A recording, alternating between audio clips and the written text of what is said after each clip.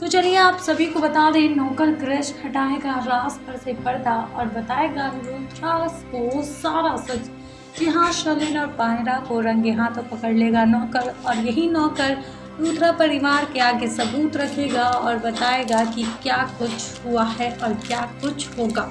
जी हाँ शर्लिन और माहिरा जब महेश पर हमला करेगी, तब नौकर बचा लेगा महेश को और इन दोनों को सबक सिखाने के लिए लूथरा परिवार के सामने सच रख देगा ऐसे में क्या होगा? इन दोनों का हाल और ये दोनों कैसे चुप करवाएँगी कृष्ण का मुँह क्या महरा? अपने प्यार के जाल में फंसा कर नौकर को चुप करवाएगी और कहेगी कि ये सच तुम किसी को मत बताना। आगे की तमाम डिटेल्स आप तक पहुँचा देंगे अपनी नेक्स्ट रिपोर्ट के ज़रिए।